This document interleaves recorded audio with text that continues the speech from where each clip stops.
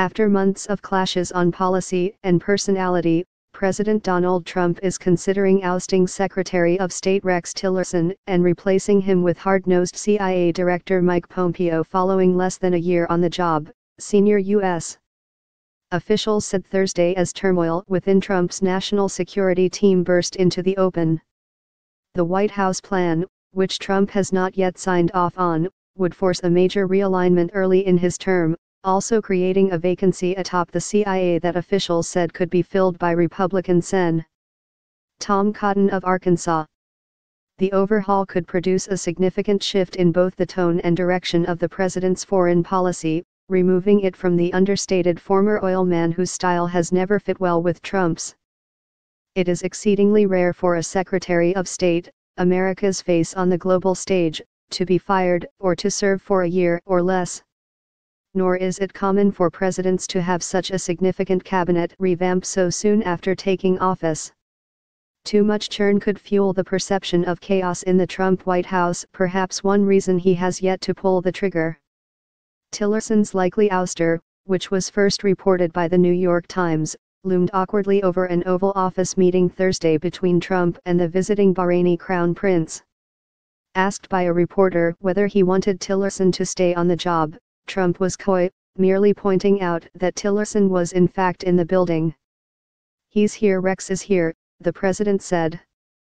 Timing for any move was uncertain. Defense Secretary Jim Mattis, Tillerson's closest ally in the administration, simply brushed off the report. There's nothing to it, he said when asked.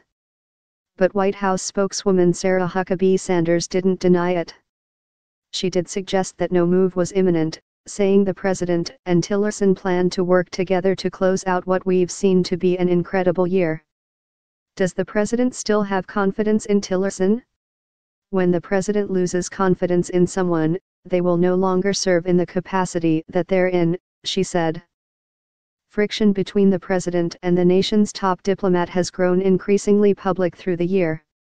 After a report last month that Tillerson had called the president a moron, Tillerson was forced to appear before cameras at the State Department to pledge fealty his boss. Soon after, Trump publicly challenged his secretary to an IQ match. For Tillerson, who left his job as ExxonMobil CEO, a premature departure from the cabinet has seemed increasingly inevitable.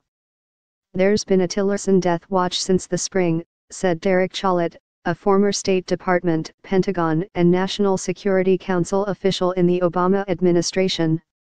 When Tillerson was tapped for the job late last year, many Trump critics expressed quiet relief that had picked a sober adult who could form a counterweight to the president's brasher, impulsive approach, especially on critical matters of war and peace. Yet divisions on key foreign policy issues emerged quickly, and Trump has repeatedly undermined Tillerson by voicing positions at odds with those the State Department was pushing. When Tillerson in June called on Arab nations to ease their blockade on Qatar, Trump emerged in the Rose Garden hours later to lambaste Qatar for funding terrorism.